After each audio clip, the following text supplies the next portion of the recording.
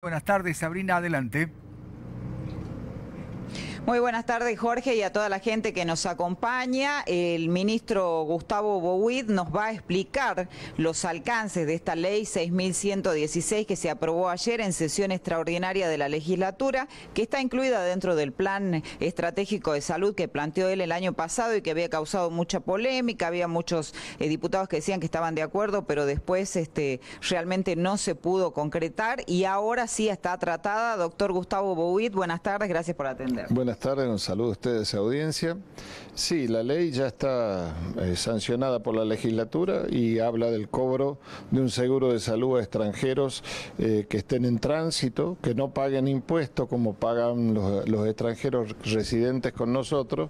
Así que bueno, eso nos permite como provincia este, lograr o los acuerdos que queremos con las diferentes eh, naciones para tener acuerdos de reciprocidad que venimos intentando y venimos intentándolo con Bolivia eh, y también la posibilidad de que aquella nación que no tenga estos acuerdos nosotros podamos cobrarle a los ciudadanos extranjeros un seguro de salud como ocurre en otros países del mundo cuando uno ingresa a la provincia paga un seguro de salud para darle la cobertura de salud. Esto es para extranjeros en tránsito, o sea, personas que vienen de visita, no los extranjeros que ya viven en Jujuy. Sí, exactamente, como te lo explicaba, este, es para aquellas personas que están en tránsito, que son precisamente los que no pagan impuestos. Este, un extranjero que reside acá en nuestra provincia es uno más de nosotros, paga impuestos en cada acción, en cada compra, eh, eh, lo hace igual que nosotros. Así que lo que nosotros estamos hablando es para el extranjero en tránsito, que también acaba con esto de los tours de salud que ocurren en, la República Argentina, al menos en la provincia de Jujuy, para que esto no ocurra también, eh, de alguna manera nos permite esta herramienta legal eh, producir el cobro de seguro de salud para los ciudadanos extranjeros. ¿Cómo se va a fijar ese seguro de salud eh, o si va a ser según la prestación que se le da a la persona cuando, cuando tiene algún problema? No, es un seguro y como todo seguro tiene un límite de cobertura. Las prestaciones vamos a darlas todas en todo momento. Eh, siempre que hay una emergencia, nosotros no preguntamos si tiene seguro o no tiene seguro. Le vamos a seguir dando la cobertura. Este, pero bueno, después es una herramienta que nos permite hacer la gestión de cobro, ya sea a la nación de origen que tenga convenio con nosotros o al propio ciudadano en el caso que tenga la capacidad de pago. Y si no tiene la capacidad de pago, lo vamos a tener igual como lo hemos atendido siempre. ¿Qué pasa, por ejemplo, con aquellos ciudadanos que sí tengan una obra social? Porque al hacer acuerdo entre, supongamos, la provincia y nación de Bolivia, tal vez algún eh, ciudadano se accidenta o tiene algún problema y tiene una obra social que puede responder responder, digamos, a la, atención que se le brinde acá? Mire, eh, acabo de cortar en una videoconferencia con la autoridad del Ministerio de Salud de Nación de Bolivia y de Cancillería Argentina y estamos avanzando en el acuerdo. Eh, la Asamblea Plurinacional de Bolivia en estos momentos está tratando el cambio de su sistema de salud y nosotros le habíamos pedido que dentro de ese artículo 5, inciso B, donde hablaba de residentes, eh, eh, pero no explicaba de residentes en tránsito, otra vez quedábamos afuera de los acuerdos, le pedimos que, taxativamente lo digan y lo expliquen, así que ellos están modificando ese artículo y es muy probable que terminemos con un acuerdo. Eh, tenemos una próxima reunión fijada para el día 22 de febrero en Santa Cruz de la Sierra, así que lo más probable es que terminemos con un acuerdo. Ante ese acuerdo, nosotros al, ciudadano boliviano, si lográramos este acuerdo, seguiríamos sin cobrarle nada y la diferencia está que al ciudadano argentino este, no le cobrarían. Y por supuesto también estamos pidiendo los mecanismos compensatorios, ya que son mucho más los bolivianos que están en Jujuy en Argentina que los argentinos o jujeños que estén en Bolivia.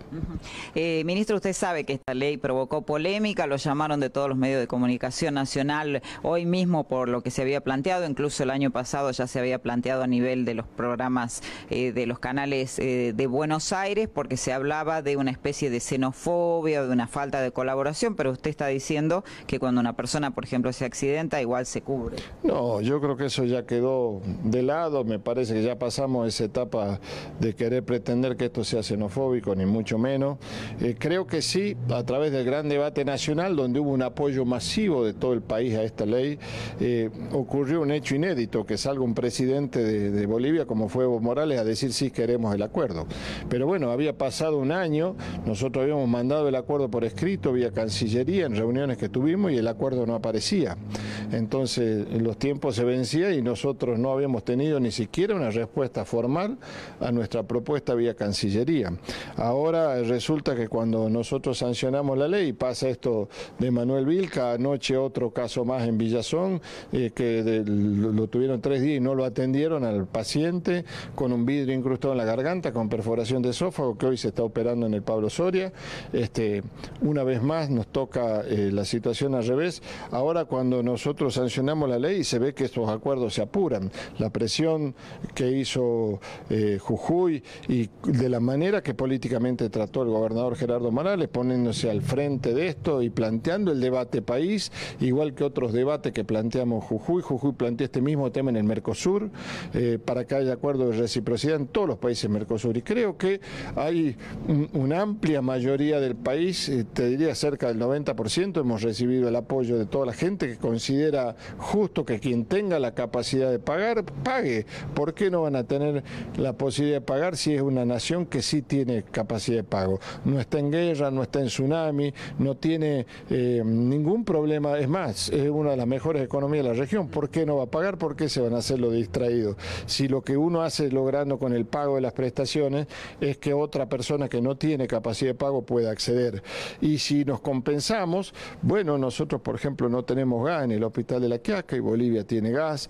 Entonces, lograr este tipo de acuerdos es importante y lograr una integración real es importante. Al contrario, se acabaría con la discriminación y con la xenofobia que hay de los dos lados, ¿no? Porque a nosotros también nos discriminan, nos cobran diferente la nafta, no nos atienden. Eh, que hay miles de testimonios de jujeños que han tenido problemas. Ahora, lograr esto también es lograr una integración real donde entonces se acaben estas actitudes.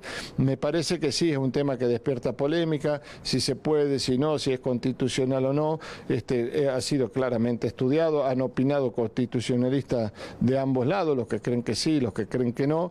La constitución en ningún lado dice que la salud tiene que ser gratuita, este, sí habla del derecho a la salud, por eso es que nosotros atendemos siempre en ningún caso, y ahora incluso con este seguro, nosotros vamos a dejar de atender a quien no tenga la posibilidad de pago. Al contrario, lo que nosotros queremos es que no se hagan los distraídos, que los que puedan pagar, paguen.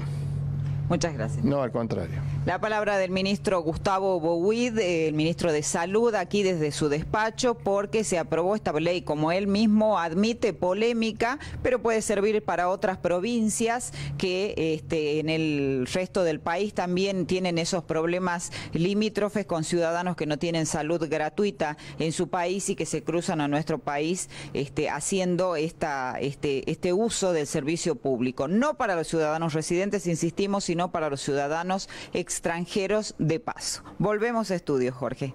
Muchas gracias. Aclarado el tema y nosotros seguimos de la siguiente manera.